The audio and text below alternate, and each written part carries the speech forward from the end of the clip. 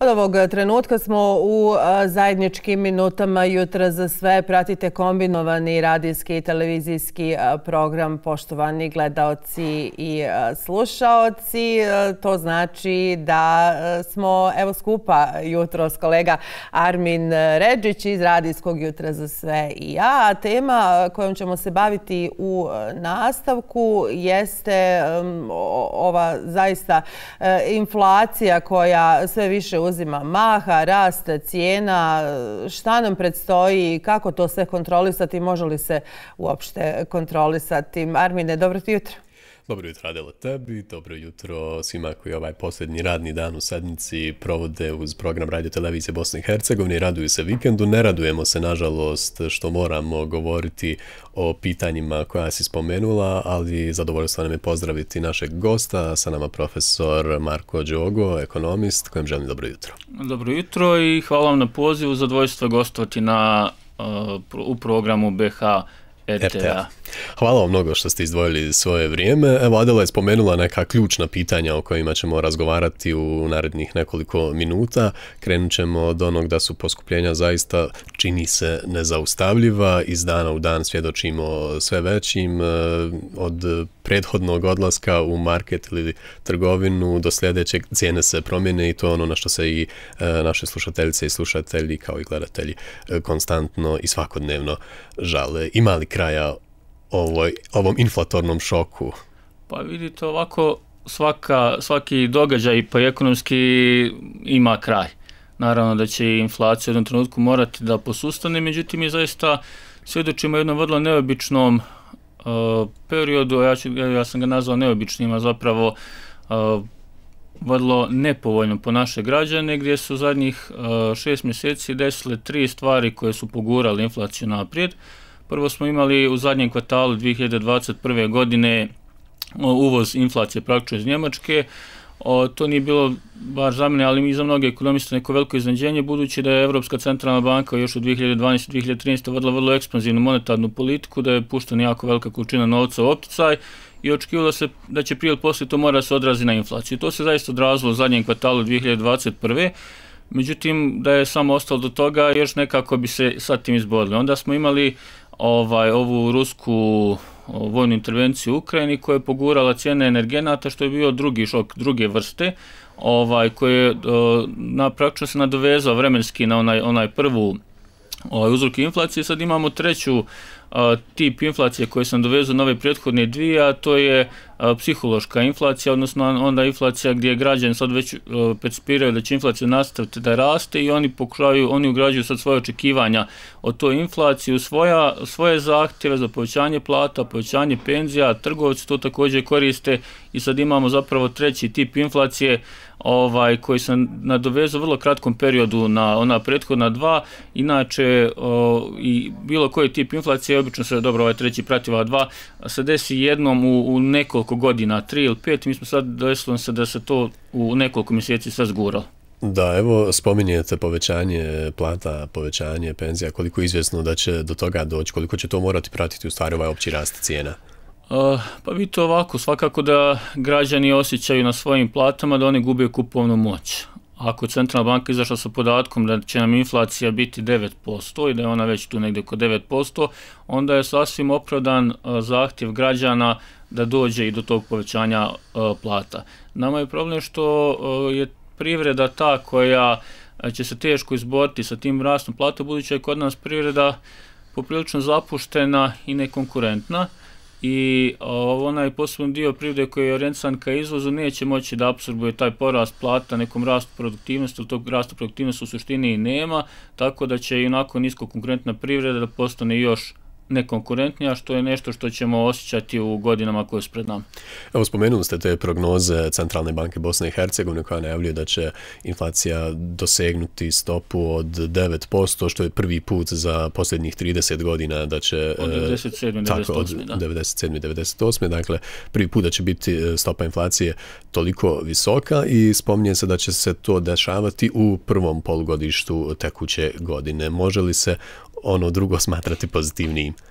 Pa mi ne znamo što još uvijek šta će biti u drugoj uh, polovini godine. Uh, kao što rekoh, ako se zaustavi inflatorna očekivanja koje su trenutno najveći generatori inflacije, s obzirom da inflacija promjene odnosno na prethodni period, čak i ako se cijene zaustavi na postojeći nivo, mi bi onda u drugoj polovini godine mogli očekivati smanjenje inflacije, smanjivanje, ovaj, dakle da se više te cijene ne guraju naviše, da li će od toga doći, nažalost izvan našeg je dosega, tu ima i, i politike, i ove geo, i svetske politike, ovaj uticaje dakle cijena energenata, Uh, tako da to je nezahvalno prognozirati, ali definitivno ne bi trebalo da, da se desi nešto tako dramatično kao što se dešavalo u prethodnom u februaru ili kao što se dešavalo krajem prethodne godine. Teško je naći još jedan tako dramatičan uzrok koji bi pogurao inflaciju na više. Nadamo se da, da, da se ništa vanredno neće desiti s obzirom da su nas mnoge stvari u prethodnih nekoliko godina Samo uspjevali iznenaditi tu ima koja kod nas može da pogore inflacija, to su izbori. Da. S obzirom kod nas ovaj, političari pred izbore povećavaju ovaj i izdavanja, odnosno plate penzije, da pred izbore krenu neke investicije, a, nadat se da će ovaj put u čitavoj situaciji političar biti malo a, odgovorni i da neće pred izbore oni biti četvrti uzrok inflacije u Bosni i Hercegovini. Evo, spomenuli smo neke zakonitosti u ekonomiji koje su dovele do ovako visoke stope inflacije, ali ono što naše slušateljce i slušatelje zanima i sa takvim e, pitanjima su se vrlo često javljali, jeste zašto su u, na različitim prodajnim mjestima cijene istih artikala, cijene istih proizvoda značajno različite.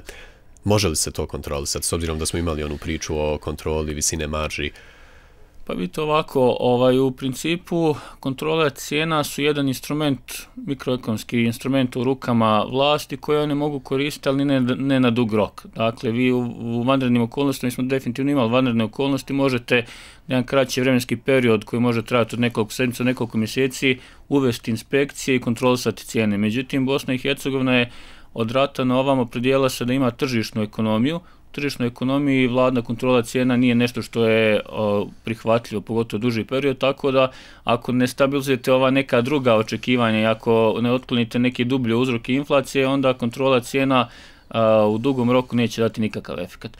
A, u ovom trenutku, dakle, postoji vaše pitanje da li je to moguće kontrolisati, moguće kontrolisati, ovaj, ali eto, naše vlasti su odlučile se da ne intervenišu baš previše i da puste da sam, sama privreda na neki način se podesi sprem ovih okolnosti. Koliko će građani biti u poziciji da se strpe do te samoregulacije privrede? Pa vidite, nažalost, osnovni mehanizam koji je Bosna i Hercegovina postiže svoje ravnoteže je odliv, odliv ljudi, odlazak ljudi. Dakle, građan će ako budu previše pritisnuti, ako budu poguđeni, ako njihov životni standard a, bude i dalje ugrožen, vjerovatno nastaviti još masovnije da napuštaju ovu zemlju a, i to će biti pritisak onda poslodavci da oni podižu plate, a na trgovce da neće imati kome da prodaju, da onda ta tražnja za njihovim proizvodom opada pa će morati da snižavaju cijene. A, nažalost, o, mobilnost rada je o, faktor, odnosno mehanizam koji djeluje samo u dugom roku, tako da u jednom kraćem o, periodu trgovce neće osjećati ugroženim, ali u dugom roku Bosna i Hercegovina će opet o, ostati uskraćen za dio svog stanovništva i dugoročne potencijale za razvoj. Šta je onda poruka građankama i građanima, ali evo i privrednicima, kako, kako da, ima, da nađu razumijevanje prema građankama i građanima? Ovako, ja mislim da a, a, građani prvo trebaju da a, budu svjesni da je inflacija da postoji ekonomija što je samo ostvarujuća očekivanja, dakle, nema potrebe da očekuju da će inflacija da divlja ili da će da ima onu, onu, onu, onaj putanju koju imala, ne znam, prije rata ili na, dakle neke ogromne ovaj e, procente e, mislim da će e, u drugoj polovini godine ipak doći do smirivanja inflacije i da on trebaju da smanje svoje očekivanje inflacije to ne znači da ne treba tražiti povećanje plata onoliko koliko inflacija bilo u proteklom periodu toliko je opravdano traže povećanje plata Dakle, ali da ako bi išli da traže puno preko toga očekujući u budućnosti inflaciju, oni bi bili dodatni uzrok inflacije. Dakle, u korist svih nas je da građani se ponašaju racionalno i da ne guraju inflaciju najviše s nekim pretranom inflatornim očekivanjima. Ali kupovna moć je značajno pala, složit ćete se. Ako inflacija je 9%, a plata nije rasla, znači kupovna moć je pala za 9%, što u uslovima kada je onako kupovna moć niska, znači da je mnogo naših građana zapravo završilo opet ispod linije siromaštva.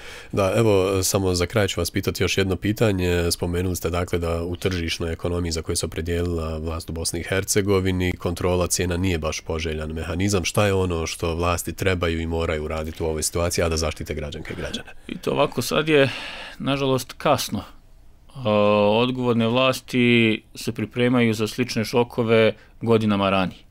A, vi možete vidjeti da su vlasti nekim drugim zemljama, pa i zemljama regiona, a, svojim građanima dijele neke vrste novčane pomoći kako bi im kompenzovali pad kupovne moći. Međutim, da biste to mogli raditi, morate imati vlast koji imaju budžetski suficit i koje imaju neki plan razvoja zemlje gdje a, mogu da naprave te suficite koje bi sada podijelili. Nažalost, naše vlasti iako mi uopšte imamo vlasti, to je kod nas vrlo neizvjesno, ovaj, godinama se nisu ni za što pripremali, oni zapravo nemaju sad resurse kojim bi mogli da kompenzuju građanima ovaj šok koji se našao. Do duše inflacija pogurala sad javni prihode, budžet su e, puni nego ikad ranije, tako da bi bar iz tekućih primanja a, moglo nešto da se vrati građanima i privredi. Ja mislim da je e, jako bitno obratiti ovdje pažnju i na privredu, jer privreda na kraju će biti ta koja će možda biti najveći gubitnik ove situacije. Da, što, što će biti i najveći poraz bosansko-hercegovačke ekonomije. Ja se nadam da će ove poruke koje ste spomenuli doći do onih koji donose odluke i da će bar malo e, građanke i građane i njihove potrebe i njihove živote staviti na svoju prioritetnu listu. Profesore Đogo, hvala vam za izdvojno vrijeme. Hvala vama.